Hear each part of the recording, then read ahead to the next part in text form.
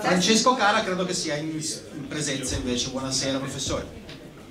Buonasera. Adesso saranno tutti milanesi. Sì, accenda il microfono, quindi bisogna tirare il tastino. Lei è il primo in presenza, quindi la posso interrompere, quelli di prima no perché non lei sì.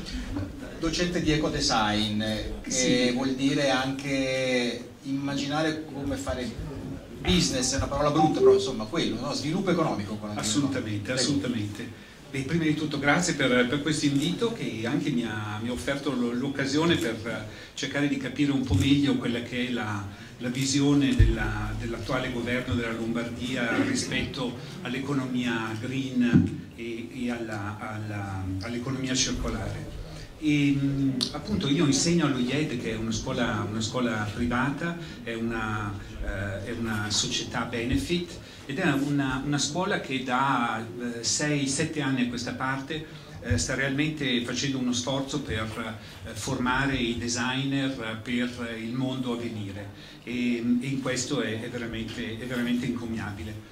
Questo mi dà la possibilità di passare eh, circa 4 mesi all'anno a contatto con eh, dei ragazzi giovani, 20 anni, 21 anni, e insieme a loro cerchiamo di immaginare eh, quello che sarà il mondo a venire, un mondo positivo, eh, non eh, siamo interessati a scenari distopici, cerchiamo di immaginarci un mondo che è un mondo desiderabile, un mondo realizzabile pure.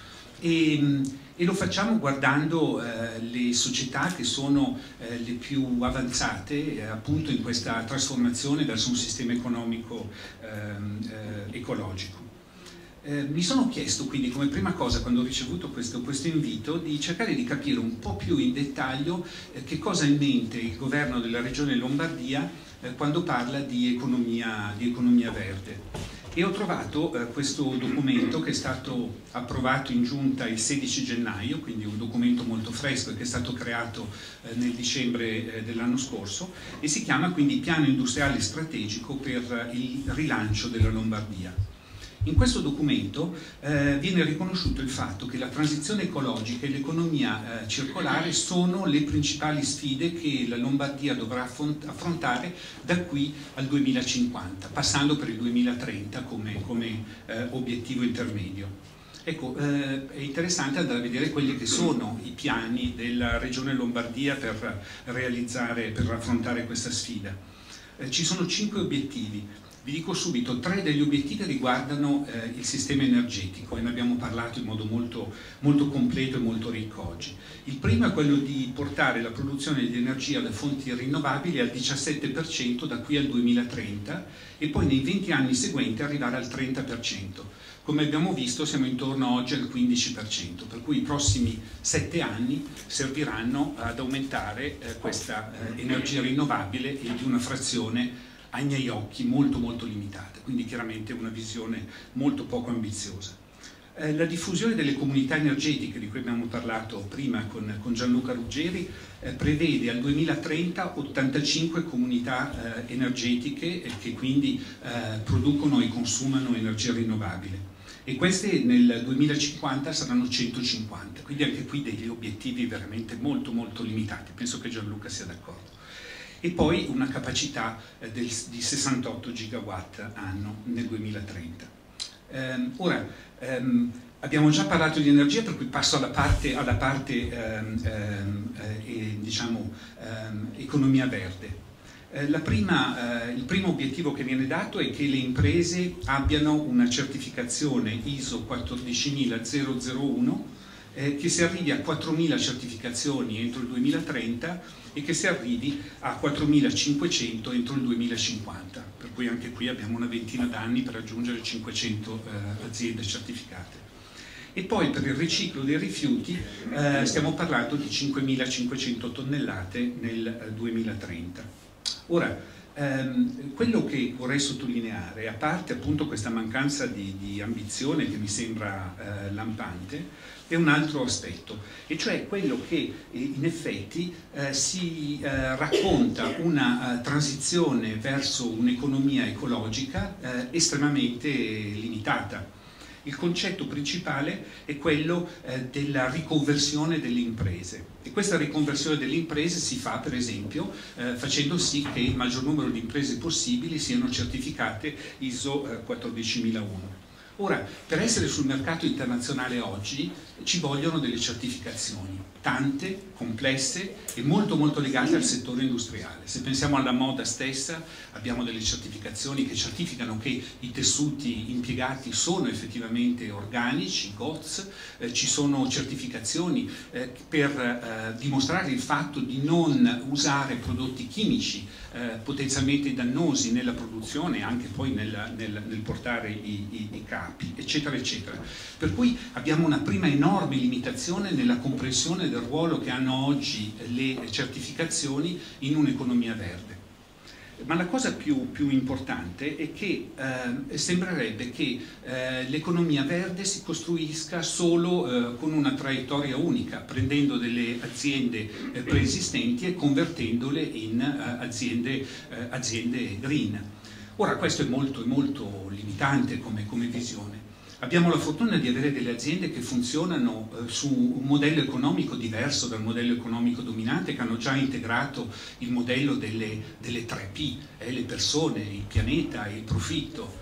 Eh, e abbiamo delle aziende che vengono riconosciute oggi come eh, B Corp o eh, come aziende ad impatto, insomma abbiamo una varietà di modi per descrivere queste aziende. E, ed è molto interessante andare a vedere effettivamente, porsi la domanda e dire ma esistono delle aziende di questo tipo? E per esempio un, vi dico un esempio molto rapidamente, questa officina del colore naturale che è una tintoria vicino a Mantova eh, che eh, funziona unicamente con prodotti naturali che vengono con, con, eh, coltivati in loco. È una, picco, una, piccola impresa che lavora con tintori, tintorie più importanti eh, eh, sviluppando questo approccio naturale alla, alla tintura. E ce ne sono altre ma ci sono anche altre aziende che sono aziende che sono mutate, che sono nate magari eh, nel secondo dopoguerra e che eh, ora sono diventate aziende molto molto avanzate dal punto di vista dell'economia green. Penso per esempio a Candiani, Candiani che eh, produce questi tessuti denim sostenibili e che è un'azienda nata nel 1935 e che oggi è una delle aziende leader a livello mondiale nella, nella produzione di, eh, di denim sostenibile e sapete quanto eh, quanta acqua la produzione di denim consuma e quanti coloranti riversa nell'ambiente, eccetera, eccetera. Per cui fanno un lavoro veramente, veramente eccezionale. E, e questa Candiani aggiunge un altro elemento, cioè non punta unicamente alla sostenibilità, ma punta alla rigenerazione, perché da un certo punto di vista la sostenibilità non è sufficiente. Visto che abbiamo un pianeta una società così deteriorata, non ci interessa avere un impatto zero, noi dobbiamo cercare di avere un impatto positivo. E quello che lo fa, lo fa essenzialmente sostenendo un'agroecologia nella produzione del cotone che verrà utilizzato poi per i jeans. Ho quasi finito, ma c'è una terza categoria che secondo me è molto importante e sono le aziende che effettivamente in modo molto consapevole stanno modificando i loro, eh, i loro prodotti.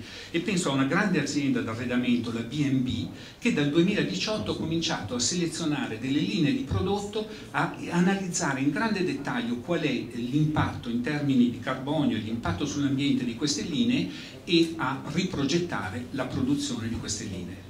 Ora, eh, c'è un tema che è comune a tutte queste tre tipologie che come vedete vanno molto molto al di, al di là di questa idea di uh, ristrutturazione, di, di, di, riorientamento di un'azienda. E uno è l'ecodesign.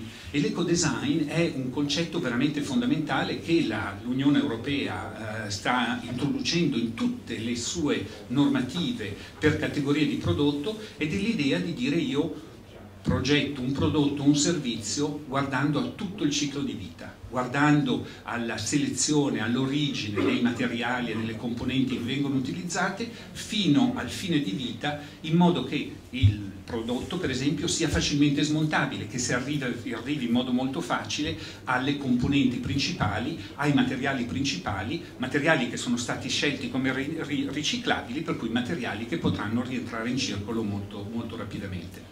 Ora, eh, dal punto di vista della, eh, della, della, eh, della, regione Lombardia, torniamo un attimo, eh, c'è stato nel 2021 un bando che si chiamava Bando per l'innovazione delle filiere di economia circolare, Questo bando ha riconosciuto 53 aziende come aziende che, eh, sono, eh, che eh, potevano accedere a, questo, a questi bandi, eh, di queste aziende 44 appartengono a delle attività che non hanno nulla di green, nulla di sostenibile. Stiamo parlando di cave, stiamo parlando di aziende di trasporti su gomma, stiamo parlando di aziende che veramente appartengono a questa prima categorizzazione di cui vi parlavo e che oggettivamente non hanno futuro, per cui potremmo chiederci perché investire risorse su eh, aziende che non hanno futuro.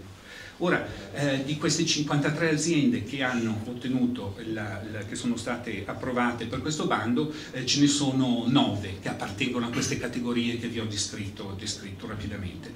Ora, dal punto di vista, cosa, cosa, si aspetta uno, dal mio punto di vista, dalla comunità che rappresento, è che il nuovo governo della regione faccia due investimenti principali, uno eh, nell'eco design, abbiamo parlato già dell'importanza dell'educazione professionale, ora tutte le persone che entrano in filiere di educazione professionale devono pensare la progettazione come una progettazione per il ciclo di vita nel suo insieme. E la seconda cosa molto importante, visto che abbiamo sentito parlare di grandi fondi, bene, dirigere questi fondi non verso delle aziende che proprio strutturalmente non sono sostenibili, ma dirigere questi fondi verso delle aziende che a diversi momenti del loro ciclo di vita stanno veramente trasformando la nostra economia. Grazie. Grazie Francesco.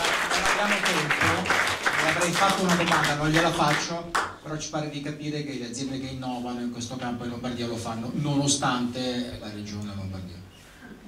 Allora, no, ma non, non mi risponda perché sì, non c'è tempo. Sì, sì.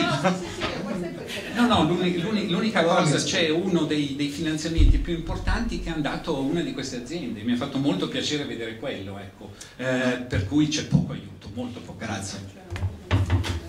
Un settore